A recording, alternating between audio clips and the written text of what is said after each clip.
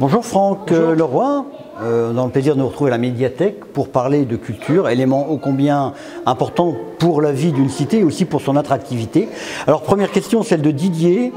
Qu'en est-il du projet du futur musée et quand sera-t-il opérationnel? Alors le projet de musée est un des projets principaux de ce mandat. Le musée est fermé depuis les années 90. Il avait ouvert en 1893 euh, autour d'une collection assez, euh, extraordinaire euh, de, pièces archéologiques et autour de l'histoire du Champagne. Et il va donc réouvrir en, 2019 après un long cheminement qui nous a amené d'abord à présenter au ministère de la Culture un projet scientifique et culturel qui euh, a été adopté par le ministère de la Culture, qui labellise en quelque sorte ce musée.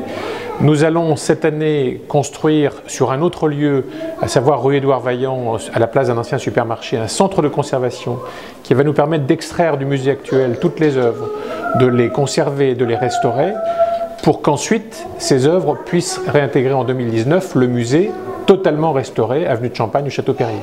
Donc vous voyez, c'est une opération au tiroir un petit peu compliquée, mais assez coûteuse, entre 20 et 25 millions d'euros. Le, concours d'architecte est en cours, donc il est difficile de dire avec précision quel sera le coût de ce musée. Mais c'est un projet ambitieux parce que nous voulons réinstaller au cœur de l'avenue de Champagne un musée qui traitera de l'archéologie euh, régionale et nous avons des collections extrêmement riches en la matière et qui traitera également de l'histoire du vin de Champagne puisque ce sera le musée régional d'archéologie du vin de Champagne. Donc 2019 2019, fin 2019.